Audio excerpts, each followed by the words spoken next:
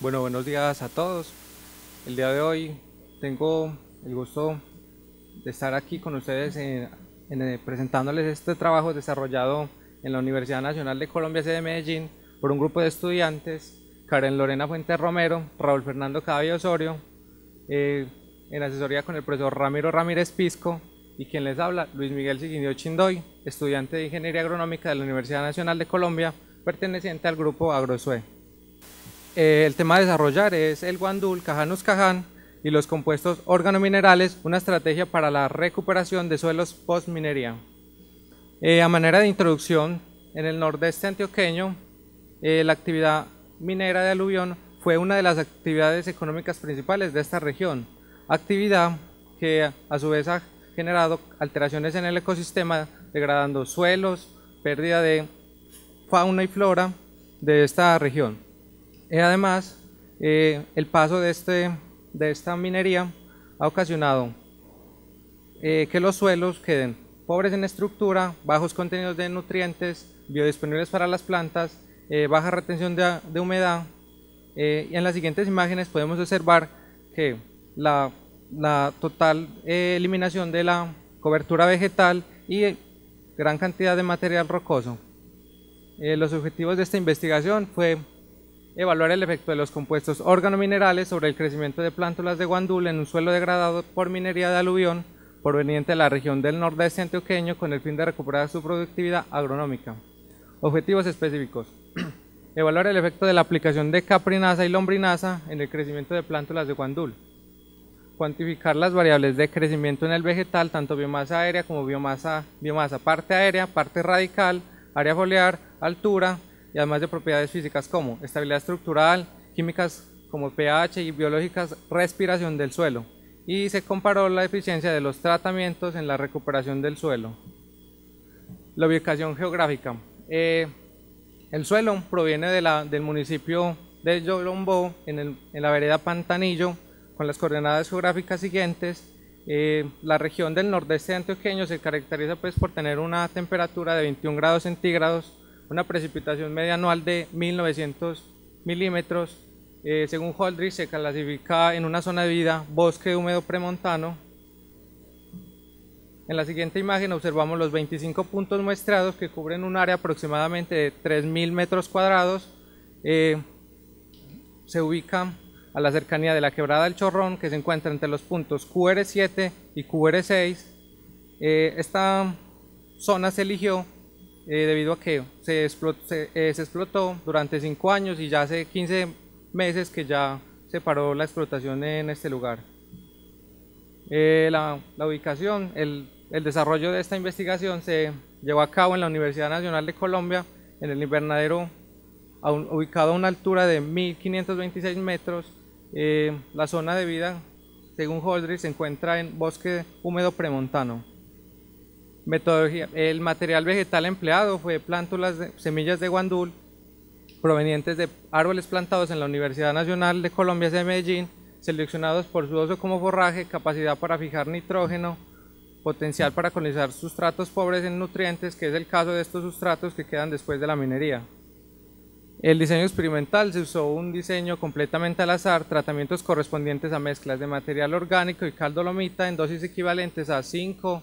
10 y 20 toneladas por hectárea de caprinasa o lombrinasa y en cal de dosis equivalentes a 2 toneladas por hectárea. Se realizaron 7 tratamientos con 4 repeticiones, eh, muestreos a los 33, 54 y 75 días después de la siembra, como se pueden observar eh, de forma más clara en la tabla en que se observa en la parte izquierda. Eh, las variables que se midieron se midieron tanto en la planta como en el suelo, se midió biomasa, parte aérea, parte radical por separado en un horno hasta llevarlo a peso constante. Área foliar con un equipo de laboratorio y la altura se determinó mediante, midiendo la longitud desde la base del tallo hasta el ápice del mismo. Eh, las pruebas físicas, estabilidad estructural, se determinó mediante el método y de Bot modificado por Ramírez en el 2012. Eh, pruebas químicas como el pHímetro eh, mediante el potenciómetro Pruebas microbiológicas, eh, la respiración por la metodología propuesta por Krebs en el 2003. El análisis estadístico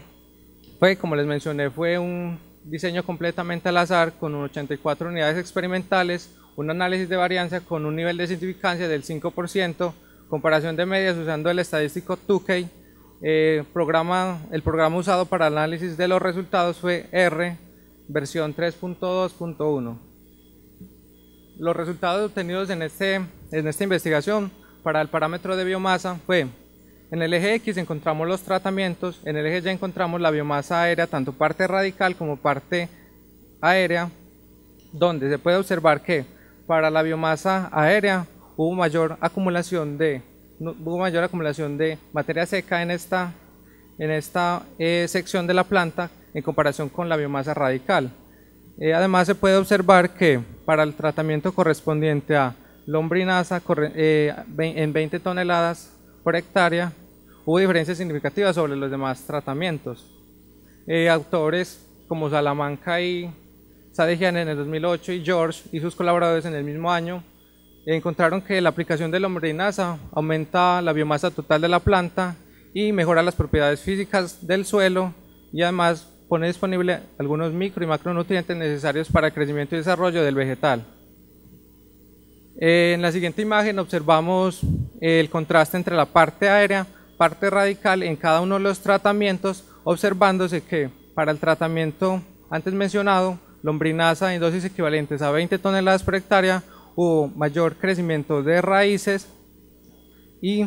para, en comparación de la parte aérea, el tratamiento que presentó también crecimiento eh, en producción de hojas y tallo fue el tratamiento correspondiente a lombrinaza en dosis equivalentes a 20 toneladas por hectárea en comparación eh, un, poco mayor en comparación al tratamiento testigo. Eh, para área foliar y altura, en la figura observamos, en el eje X encontramos los tratamientos, en el eje Y la área foliar, eh, donde se puede observar que en cada uno de los tratamientos hubo un efecto significativo de la aplicación de estos compuestos organominerales en comparación al tratamiento control. es de es de notar que en el tratamiento correspondiente a caprinasa en dosis equivalentes a 20 toneladas y lombrinasa en dosis equivalentes a 5 toneladas, hubo diferencias significativas con respecto a los demás tratamientos. Para el parámetro de altura, eh, no hubo diferencias significativas entre los tratamientos, pero podemos observar el efecto positivo que tuvieron la aplicación de estos compuestos con referente al tratamiento control. Eh, eh, muchos autores atribuyen a que estos materiales poseen altos contenidos de nitrógeno que, lo que hacen es aumentar eh, la producción de follaje. La estabilidad estructural, en el siguiente tabla observamos que los tratamientos, el diámetro promedio medio en seco, diámetro promedio en húmedo, la estabilidad estructural, donde se puede, se puede apreciar que para todos los tratamientos fue moderadamente estable, ya que se encuentra entre un rango entre 1.5 y 3 milímetros, clasificación que fue tomada del IGAC en el 2006. Podemos observar en las imágenes la formación de bioestructura por la raíz y también podemos observar la, eh, alrededor del sustrato cómo se, cómo se encuentra, eh, los agregados se encuentran amarrados por estas raíces la eh, respiración. Eh,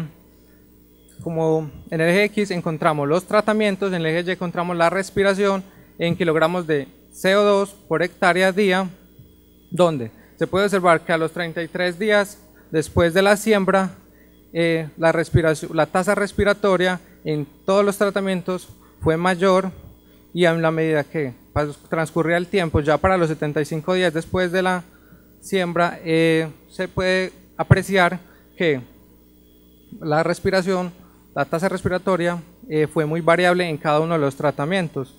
Eh, pues es de resaltar que para el tratamiento correspondiente a caprinasa en dosis equivalentes a 20 toneladas por hectárea, eh, hubo diferencias significativas con respecto a los demás tratamientos. Renela y Alberenga en una minas de Gales, Portugal, en un trabajo pues, realizado por ellos, encontraron que la adición de compuestos organominerales incrementa la actividad enzimática y la biomasa microbiana, favoreciendo el crecimiento de plántulas y, y, y la colonización de microorganismos en este tipo de sustratos. Eh, algo que pues, de, también es de notar que para ese tratamiento correspondiente a caprinasa en dosis equivalentes a 20 toneladas, también la cal aumenta la, aumenta la actividad de los microorganismos y mejora el pH, observándose en esta gráfica que para el mismo tratamiento se encuentra que se obtuvo el mayor valor de pH con relación a los demás tratamientos, aunque todos los tratamientos presentaron diferencias significativas entre ellos, mostrando gran variabilidad. Eh, Paradelo en el 2013 eh, menciona en uno de sus trabajos que los compuestos organominerales favorecen, atenúan valores de pH extremos. Eh, también es importante pues, notar que la adición de los compuestos organominerales tienen un efecto positivo sobre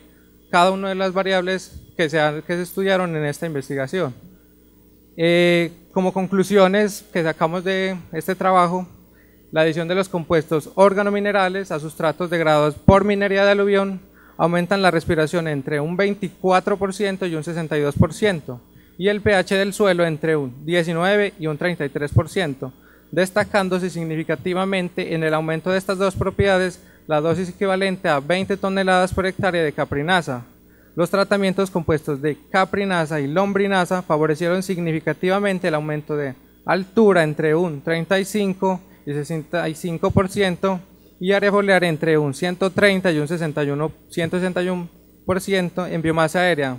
entre un 138 y 151% y biomasa radical entre un 43 y un 57% de Cajanus Caján con respecto al testigo. Agradecimientos a la Universidad Nacional de Colombia por el apoyo económico brindado, a la profesora Edna Ibón por las asesorías brindadas y al Laboratorio de Física de Suelos de la Universidad Nacional de Colombia.